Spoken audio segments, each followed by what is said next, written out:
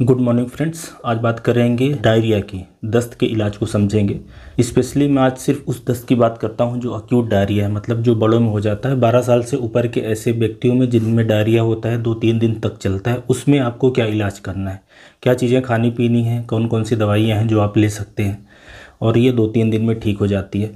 Chronic diarrhoea के बहुत सारे कारण होते हैं। क्रोनिक डायरिया मतलब आपको जो दस्त लगते चार हफ़्ते से ज़्यादा हो चुके हैं, महीने भर से ज़्यादा हो गए हैं। उसके लिए काफ़ी सारे टेस्ट कराने पड़ते हैं। टेस्ट के बेसिस पे ये पता चलता है कि डायरिया कारण क्या है। फिर उन सब अलग अलग कारणों का अलग अलग इलाज होता है। तो क्रोनिक डायरिया की बात किसी और वीडियो में करेंगे। और जो बच्चों में डायरिया होती है, उसकी भी बात अभी नहीं कर रहे हैं क्योंकि बच्चों की डायरिया बहुत जल्दी ख़तरनाक हो जाती है। बच्चों में पानी की कमी जल्दी हो जाती है। इसलिए काफ़ी सीरियस बात हो जाती है। इसलिए उसका भी बाद में बात करेंगे। तो अभी अक्यूट डायरिया बारह साल से ऊपर के लोगों में करते हैं। अब डायरिया होती क्या है? अक्यूट डायरिया ज़्यादातर केसेस में इन्फेक्शन की वजह से होती है। चाहे बैक्टीरिया हो, चाहे वायरस हो, चाहे पैरासाइट हो अमीबा या एंटमीबा हिस्टोलिटिका मैक्सिमम केसेस में ये देखा गया है कि अगर ठंड में हो रही है तो नोरा वायरस से होती है और बरसात के सीज़न में हो रही है तो दूषित खाने में बैक्टीरिया, साल्मोनेला, सिगेला, इकोलाई ये सारे होते हैं। अब अक्यूट डायरिया में होता क्या है कि आंत के अंदर जब बाहर का पैरासाइट जाता है तो आंत ज़्यादा पानी सिक्रिएट करती है, ज़्यादा म्यूकस सिक्रिएट करती है और अपनी जो मोटिलिटी है, जो गति है उसको बढ़ा देती है ताकि ज़्यादा बार स्टूल जाने से जो बैक्टीरिया वायरस है वो जल्दी स्टूल के रास्ते निकल जाए। तो डायरिया, दस्त का लगना एक तरीके का प्रोटेक्टिव फिनामिना है, एक तरीके का अच्छा तरीका है।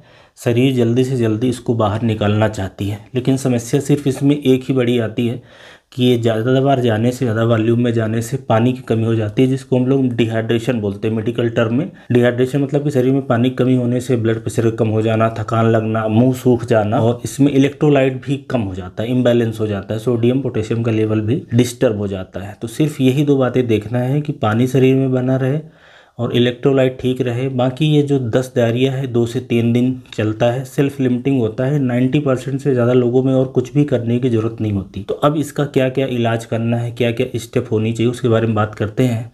तो पहला तो है कि आपको एक दिन तो रेस्ट लेना है, क्योंकि शरीर में पानी की कमी होने से काफ़ी थकान रहती है, मांसपेशियों में दर्द रहता है। रेस्ट लेने से शरीर जल्दी रिकवर होती है।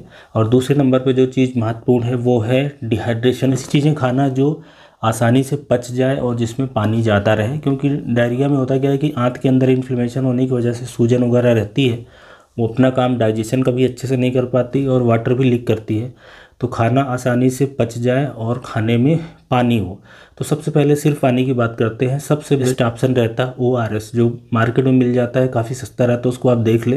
किसको कितने पानी में कितना डाल के मिलाना है ओ आर एस कितना पीना है एस एक बार में डेढ़ सौ से लेके दो सौ एम पीना है मतलब आधा गिलास पीना है। जितनी बार आप दस जाएँगे, उतनी बार आधा गिलास ओ आर एस पीना है। ओ आर एस बनाने का तरीका जो आपको पाउच रहेगा, उस पर लिखा रहेगा।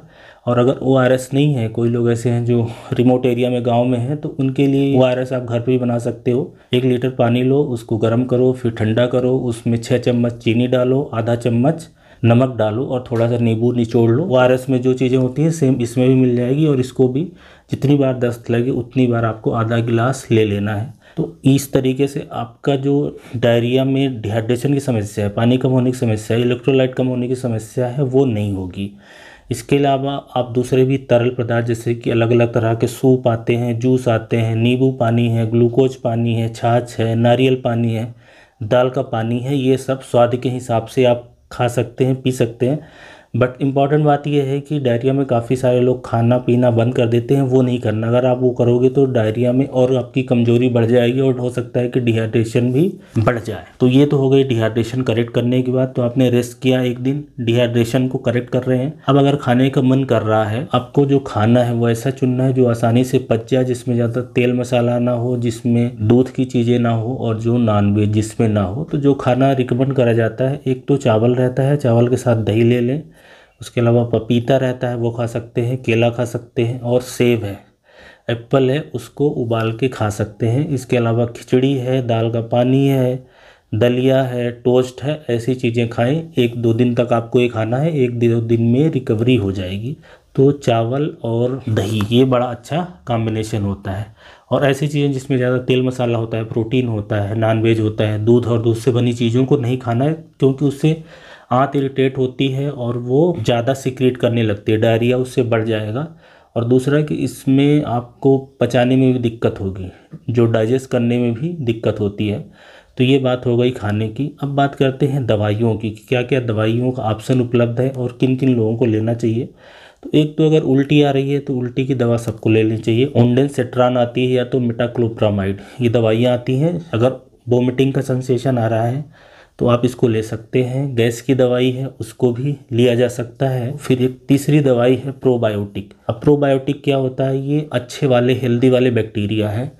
अपनी आंत के अंदर, छोटी आंत, बड़ी आंत के अंदर बहुत सारे अच्छे बैक्टीरिया होते हैं जो खाने को डाइजेस्ट करने के लिए मिनरल्स को विटामिन को शरीर के अंदर आए उसके लिए ज़रूरत होती है। तो डायरिया में उनका जो प्रपोर्शन है इम्बैलेंस हो जाता है। तो ये हेल्दी वाले बैक्टीरिया लेने से जो डायरिया है, वो जल्दी ठीक हो जाता है। ऐसा रिसर्च में देखा गया तो प्रोबायोटिक्स लिया जा सकता है। सुबह शाम इसके सैसे आते हैं कैप्सूल्स आती हैं तो ये ले सकते हैं। स्पेशली ऐसे लोग ज़रूर लें जो एंटीबायोटिक खा रहे हैं। उस केसेस में तो ज़रूर ही लेना चाहिए। या डायरिया बैक्टीरिया की वजह से हुआ है। तो प्रोबायोटिक लेना काफ़ी अच्छा रहता है। तो आपने प्रोबायोटिक ले लिया, इसके बाद बात करते हैं एंटीबायोटिक की। एंटीबायोटिक इंडिया में काफ़ी कॉमनली लोग लेते हैं। ज़रा सा उल्टी दस्त हुआ नहीं कि मेडिकल स्टोर से जाके एंटीबायोटिक ले ली। अब एंटीबायोटिक का रोल तभी रहता है जब बैक्टीरियल ओरिजिन की डायरिया हो। अगर वायरस के कारण हो रही है तो उसका कोई फ़ायदा नहीं होगा। अगर वायरस ओरिजिन की डायरिया है तो एंटीबायोटिक लेने का कोई भी फ़ायदा नहीं होगा और ज़्यादातर केसेस में वायरस की वजह से ही डायरिया होती है। तो नारफ्लाक्सासिन ओफ्लाक्सासिन सिफ्रोफ्लाक्सासिन और निडाजाल टिनिडाजाल मेट्रोनिडाजाल इस तरह की एंटीबायोटिक कॉम्बिनेशन में लोग खाते रहते हैं। ये सब लेने की ज़रूरत नहीं है मैक्सिमम केसेस में। किस केस में लेने की ज़रूरत है? अगर डायरिया में आपको लगता है कि ब्लड आ रहा है, दिखने में लग रहा है कि ब्लड आ रहा है, दस्त कम आ रही है, पेट में मरोड़ ज़्यादा है और बुखार है तो बुखार का आना मरोड़ का लगना, दस्त का जो वॉल्यूम है वो कम है और दस्त में ब्लड आ रहा है पस आ रहा है तो ये बैक्टीरियल इन्फेक्शन होने की निशानी है। या तो ज़्यादा सीरियस लग रहे हैं, उस केसेस में ये एंटीबायोटिक लेना चाहिए। ओफ्लाक्सासिन सिप्रोफ्लाक्सासिन ये सारे कॉम्बिनेशन में रहते हैं अकेले अकेले भी लिया जा सकता है। अभी डॉक्टर को आप दिखा के लेना है, खुद से नहीं खाने लगना। तो ये एंटीबायोटिक का रोल बहुत ही लिमिटेड है। मतलब बैक्टीरियल ओरिजिन का इन्फेक्शन हो या तो पैरासाइट की वजह से हो अमीवा की वजह से हो या एंटमीवा हिस्टोलिटिका की वजह से हो, तब ये दवाइयाँ काम आती हैं।